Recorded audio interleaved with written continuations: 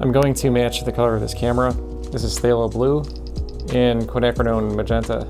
My color is too dark, so I add a little bit of titanium white to it. It's too blue, so I add some magenta and yellow to it. A little bit of red makes it less green, and then my color is still too dark. The camera body has more yellow in there, and some red, and a little bit more white. More yellow, more red.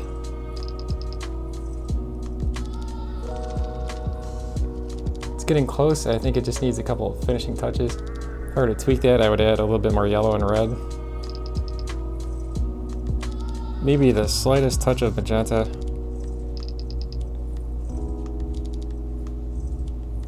That looks pretty good.